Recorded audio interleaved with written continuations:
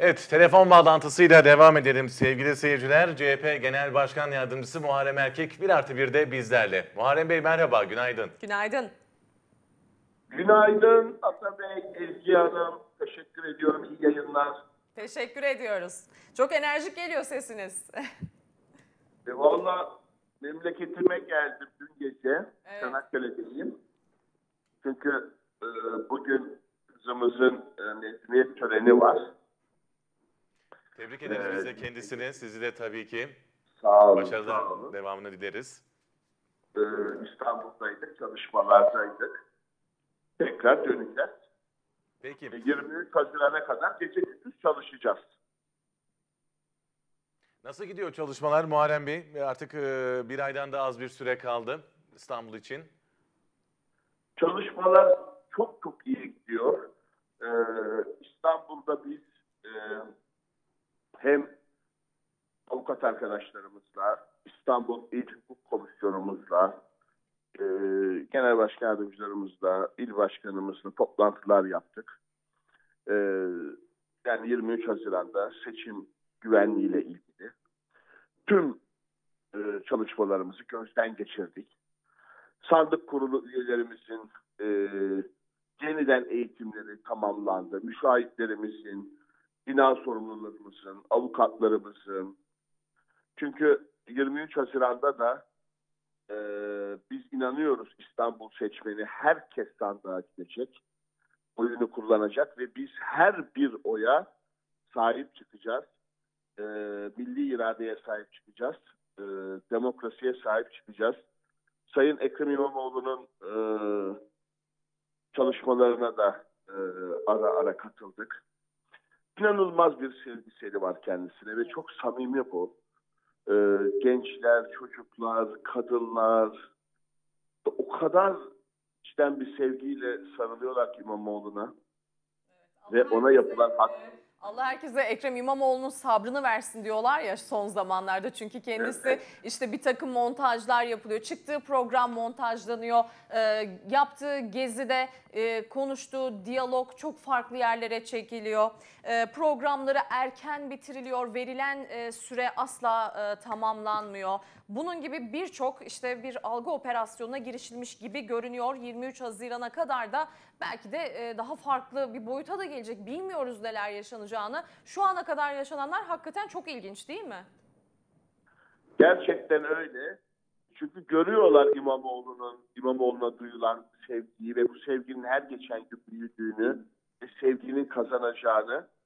Ee, bunu nasıl zedeleyebiliriz? İşte montajlarla, e, gerçeğe aykırı e, haberlerle bir algı yaratmaya çalışıyorlar ama yaratamıyorlar. Yaratamıyorlar. Ee, inanın İstanbul'da biz de işte bazen semt pazarlarındayız, sokaklardayız. İnsanlarla beraberiz. Ee, şunu söyleyen insanlar bana çok önemli.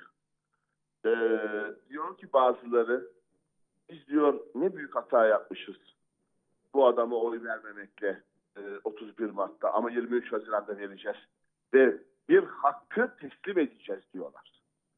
Bu çok önemli. Bu toplumun vicdanı. Yani toplum o hakkı teslim etmeye hazır. Çünkü haksızlığı görüyor, hukuksuzluğu görüyor. Ee, ya geçen gün yine bir açıklama yaptılar. Bunu İçişleri Bakanı Süleyman Soylu da söyledi. Ee, Binali Yıldırım da söyledi. Ya biz CHP'de sorumlusu seçimin yenilenmesinin diye. Ee, Cumhuriyet Halk Partisi karşı çıktığı için işte e, İstanbul'daki tüm oylar e, sayılmadı. Sayılsaydı seçim iptal edilmeyecekti diye artık bu boyuta geçtiler. E, halbuki Yüksek Seçim Kurulu'nun 8 Nisan tarihli kararı var. 8 Nisan 2019.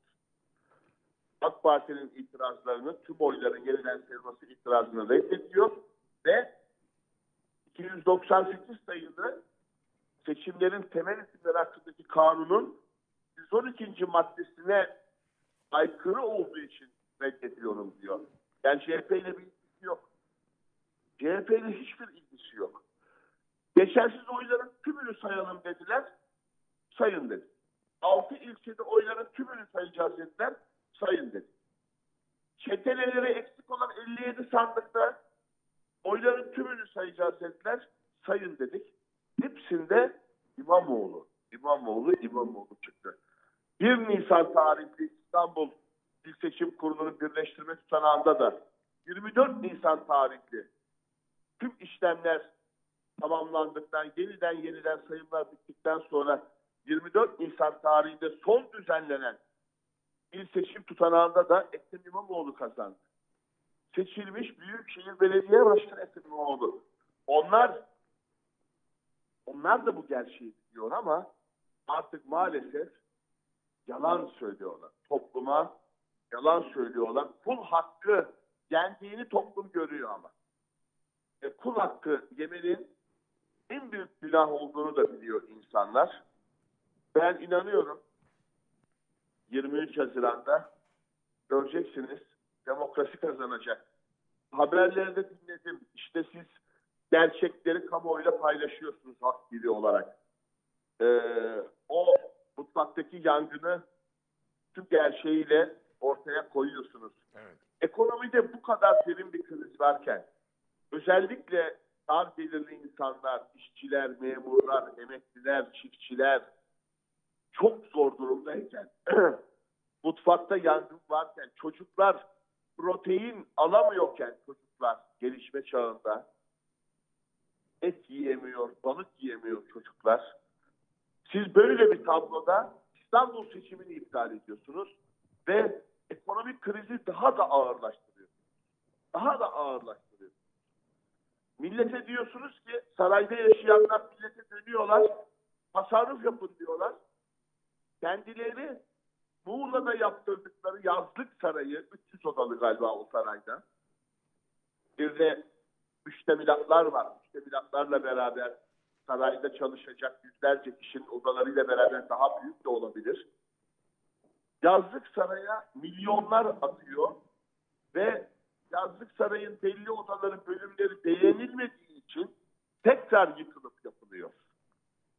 Düşünebiliyor musunuz israfı? İstanbul'daki israfı düşünün, Türkiye'deki israfı düşünün. İşte tüm bu gerçekleri ortaya koyduğumuz için rahatsızlıkları. Görüyorsunuz belediyelerde, belediyelerde halkın parasının bir avuç yandaşa nasıl aktarıldığı bir bir ortaya çıkıyor. Her şeyden düşündürücü olanı ya Türkiye ekonomik krizle boğuşurken kaybettiğiniz bir seçimi yenileterek İstanbul seçimini bu krizi daha da ağırlaştırmaya ne hakkınız var? Ne hakkınız var? Hem milli iradeyi gasp edeceksiniz hem de insanların ekonomik krizini büyüteceksiniz. İşsizlik, yoksulluk ciddi şekilde büyüyor. Özellikle işsizlik. Her ailede düşünebiliyor musunuz bir ailede bir işsizlik bile olması bu ailede huzur bırakır mı? Hareket bırakır mı? Bununla mücadele edeceğiz. Biz hep söylüyoruz. Biz çok kararlıyız. Bütün belediyelerimizde önceliğimiz kent yoksulluğuyla mücadele etmek, üreticiyle tüketiciyi buluşturmak, kooperatifleri desteklemek, kooperatifçiliği güçlendirmek, sosyal belediyecilik, halkçı belediyecilikle e, ekonomik krize bir nebze olsa bir nebze olsa derman olabilmek. Biz halkın derdiyle samimi olarak dertleniyoruz. Ve derman oluyoruz, paylaşıyoruz.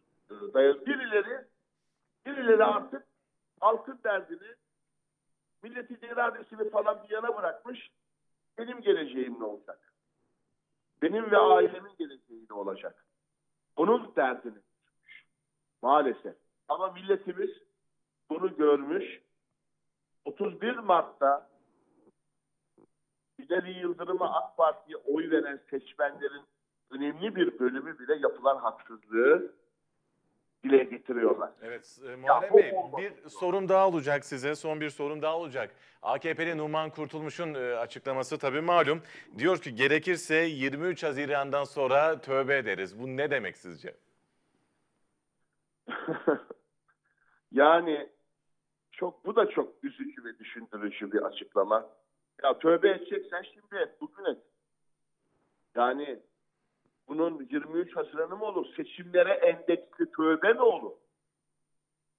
Yani biz 23 Haziran'da İstanbul'u bize verin tövbe edelim. E vermezse millet etmeyecek misiniz? Günah işlemeye devam mı edeceksiniz? 7 Haziran 7 Haziran seçimleri oldu. Hatırlayın 7 Haziran 2015'te seçimler oldu. Dedi ki millet uzlaşın, birlikte yönetin Türkiye'yi. 1 Kasım'a götürdüler. 1 Kasım 2015 erken seçimi. Dediler ki 1 Kasım'da iktidarı bize verin. Biz tövbe edeceğiz, göreceksiniz. Her şeyi çok düzgün yapacağız. Hatalarımızı anladık. Verdi millet 1 Kasım'da iktidar tek başına. Ne oldu? Ne oldu? Ondan sonra darbeye teşebbüs, o hal, referandumlar. Sonra geldik 24 Haziran'a. 24 Haziran'da bize yetkiyi verin. Göreceksiniz bu sistemle Türkiye'yi ayağa kaldıracağız. Ekonomiyi şaha kaldıracağız. Doların faizi görün nasıl düşüreceğiz dediler.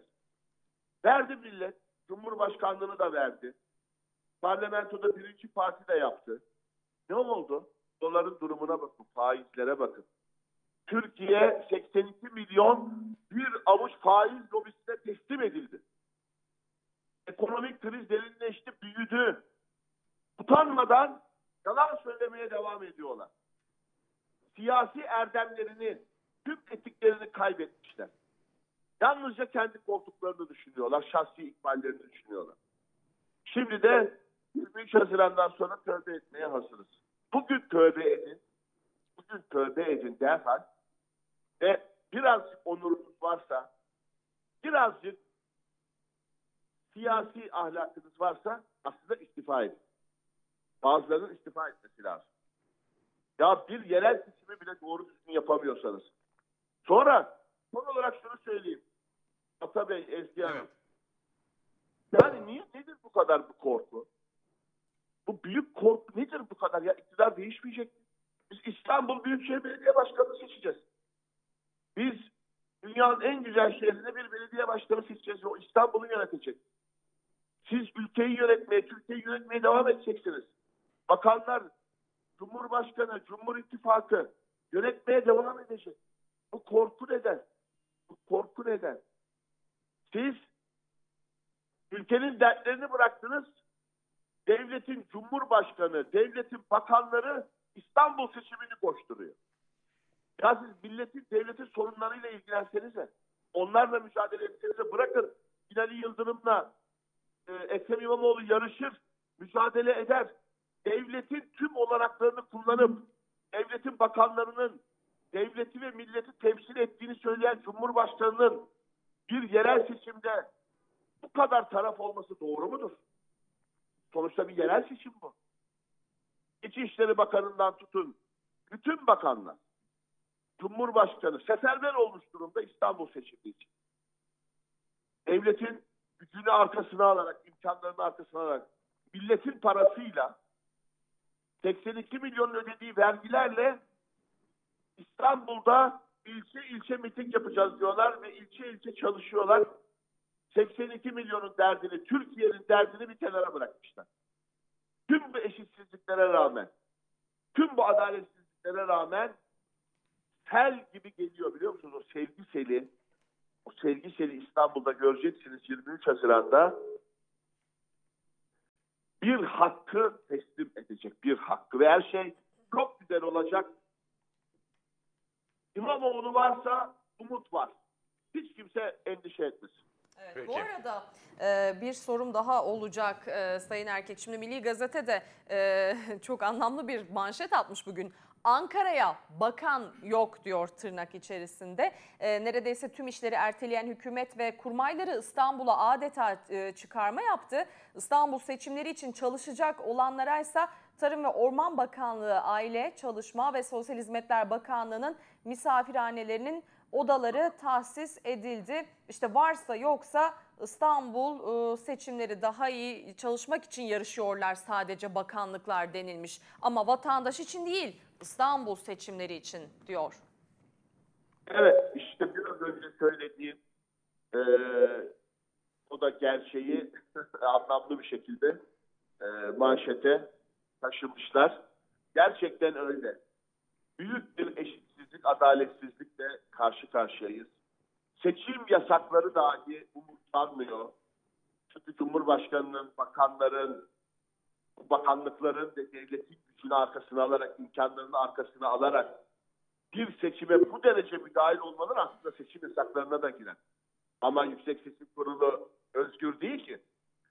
Anayasanın 79. maddesi ne diyor? Seçimlerin başlangıcından bitimine kadar tüm iş ve işlemlerin düzenli bir şekilde yürütülmesi ve dürüstçe yapılması Yüksek Seçim Kurulu'nun gözetiminde ve denetimindedir. Şimdi dürüstlük nerede burada? Nerede düzenli bir şekilde yürütülmesi seçimin? Devletin tüm imkanları bir adayın arkasında. Ya siz yerel seçimde taraf olamazsınız ki bakanlar, cumhurbaşkanı. Ne diyorduk biz hep? Yüksek Seçim Kurulu onu söylüyordu. Seçimi siyasi partiler yapar ve seçimlerde siyasi partiler yarışır. Siyasi partiler yarışırken, siyasi partilerin adayları yarışırken devlet taraf olmaz. Hani kuvvetler ayrılığı? Hani anayasa? Hani hak, hukuk, adalet? Niye taraf oluyor devlet? Ama tüm adaletsizlikleri adaletle ortadan kaldıracağız. Güzel günler yakın. Güzel günler yakın. Bakın herkes çok rahat olsun. Herkes müşteri olsun. Biz hazırız. Biz hazırız. 23 Haziran'da sandıktan çıkan iradeye sahip çıkacağız. Ve İmamoğlu farkı daha da aştığı için bu büyük korku, bu endişe artık millete yalvarıyorlar. Evet çok günahımız var, çok hatalar yaptık. Ama 23 Haziran'dan sonra tövbe edelim diyorlar. Bu bile aslında özürleri kaba, özrü kabahatinden büyük derler ya. Evet. Gerçekten çok büyük kabahatleri. Gelin 23 Haziran'da ben AK Parti'ye oy veren, MHP'ye oy veren kardeşlerime, yurttaşlarımıza da seslenmek istiyorum. Gelin 23 Haziran'da bir hakkı teslim edelim. Çünkü bu mesele artık İmamoğlu meselesi, AK Parti, MHP, CHP meselesi değil. Bu bir demokrasi meselesi, bir hak meselesi ve Türkiye meselesi. Dünyaya dünyaya milletimizin demokrasiye sahip çıktığını gösterelim ve umutlarımız büyüsün. Peki. Heyecanımız büyüsün. Çok teşekkür ediyorum. Biz çok teşekkür ediyoruz e, Sayın Erkek. Çok sağ olun yayınımıza katıldığınız için. İyi yayınlar diliyorum. Teşekkür Teşekkürler. Sağ olunuz. Devam ediyorum. Teşekkür ederim. Sağ olunuz.